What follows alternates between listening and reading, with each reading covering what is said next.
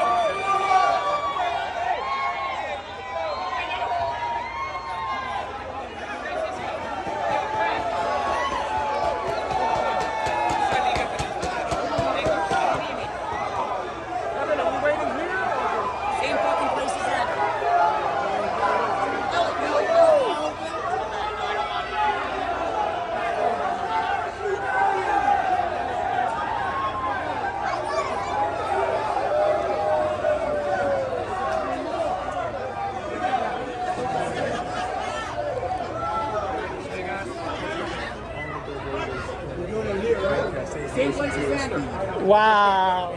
Oh, hey, that is crazy. That was a great showing. First fight, 140, did his thing. Yeah, no, he looked great. What did you think? Uh, I think, I think the usual, man. He's back to the old Tio. He looked good. Yeah, A couple rounds to shake off the rust, and then take care of business. Yeah, we, we just needed him comfortable and uh, happy. That's it. That's what it was. All right, him and Josh Taylor, what do you think? Good fight. I think kind of like what Andre Ward said. Let's just see another fight at 140 with Tio.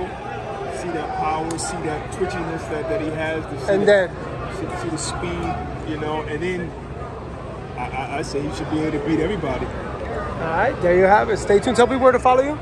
Boxing Bully on Instagram. Stay Zone, tuned. The boxing show every day of the week. At least like back reporting.